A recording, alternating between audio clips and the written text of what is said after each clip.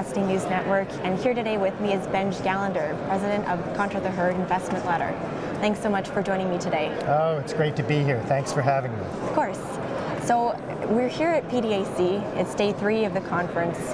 How are you feeling? How does the mood feel to you so far? Well, I've been coming here for at least 25 years and I've been here through the good times and the bad. When I first started coming, Bre-X was doing really well, and that turned into a complete fraud.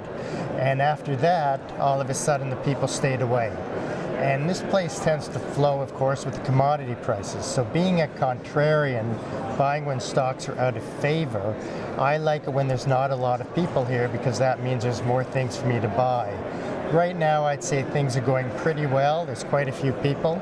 It's not bursting at the seams, but the, the mood right now is fairly positive overall, is what I would say. How do you feel about the resource space in 2018? Will we see continued positivity throughout the year, do you think?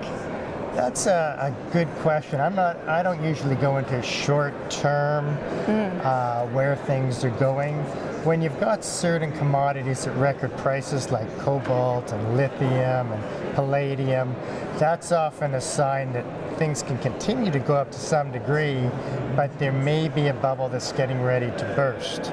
So in terms of timing, that's always very, very difficult. So, you know, gold hasn't been doing much for quite a while now. Silver hasn't been particularly exciting. So, you know, not all the commodities are doing great. Plus, at this point, you have more of a, a challenge from things like cryptocurrencies and marijuana stocks. A lot of times people move into the mining space because they're looking to have a tremendous return.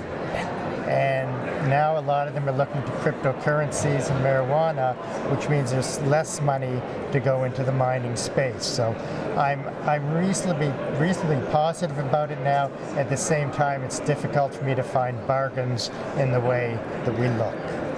Okay, so US and Canadian budgets and their impact on the market right now. Can you speak a little bit about that for us? Absolutely. I, I think that the states, they've made a huge mistake because effectively they're cutting the taxes for the rich. And if you want an economy to do well, you want to cut the taxes for, or give more money into the hands of people at the bottom because they're the people who are going to buy the washers, the dryers, the televisions, the cars, etc. because they don't have it. In Canada too, the budget I mean, the, the economy is moving very well now. Unemployment is very low now, same as in the States. Uh, in Canada, I think it's the lowest rate for about 16 years, in the States, 40 years. So at that point in time, you want to try and get your government budget in order. Neither country is doing that. So in the short run, that can help the economies, but longer term, when things go bad, it's going to really hurt stocks, I think. Mm-hmm. It may help gold because people may move to that as a, a haven for safety. Uh, which I don't really think that it is, but a lot of people do. So I think there's a, a falseness of play right now via the governments, and that will hurt us more later on. Okay, I'm going to have you back up a little bit. You've mentioned being a contrarian investor. Mm-hmm. Can you explain what that means for people who may not know about it? Yeah, so we buy into companies that have been badly beaten up. I'm only buying into companies that have been around for at least 10 years, uh, companies that have at least 100% plus upside, often 2, 3, 400% companies, when I say that percentage on the upside, they have all traded at the level where I'm looking to target them at before. I mean, our returns are amongst the best out there uh, for the past 15 years annualized, better than 16%, the past five years, better than 22%. We've been doing this for almost 25 years. I've been investing for about 40. So we look at things that people don't like and hope we'll get really good returns. So we look at things like financial ratios, we look at mm-hmm. management in the commodity sector, we'll look at commodity prices, but we like what other people generally don't. We hope that they'll hop on board, push up the stock price, and when the party is in elation, we like to get out. Those are some very specific criteria, I think. Can you speak about any stocks that you like currently? Yeah, in the commodity space, we own Alacer at this point in time. Um, I own a stock like Aegon, which is a huge insurance company in the States. There's uh, GMP.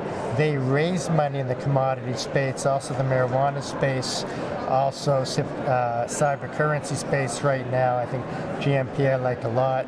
Quarterhill, which is in the Internet of Things, and they seem to be turning around. Both of those two companies also are paying a dividend right now, which is nice because if I'm getting a dividend, that allows me to be stupid longer. So if the companies don't do well, or if they if they go down, at least if I'm getting a dividend, I'm getting some sort of a payback at that point in time. So dividends are big for me. Um, and I like companies that actually do have revenues. Okay, and those those are companies that are across diverse industries. So obviously, you're not only looking at the resource space. What industry do you see the most opportunity in going forward? Because resources. That's it's a great question.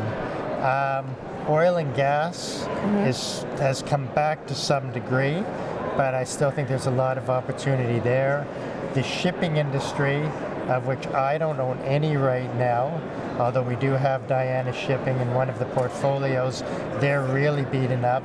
Uh, the drilling space specifically, those companies are really beaten up. I own Cathedral Energy in that one. In the vice president's portfolio, I manage presidents. They also own uh, Trinidad. So uh, drilling is a sector that's just so badly beaten up. And uh, after this, maybe we'll talk next at an oil show. And there's many companies there that have a long way to go. Okay. Final question, and I'll let you go. What advice would you leave investors with heading into the rest of the year? Well, I, I think one of the best ways to get a sure return is to pay off your debt or pay down your debt. And I know we're talking investing, that's a way to invest in yourself. Mm-hmm. If you want to deleverage your personal risk profile, by paying down your debt, it's like a guaranteed return.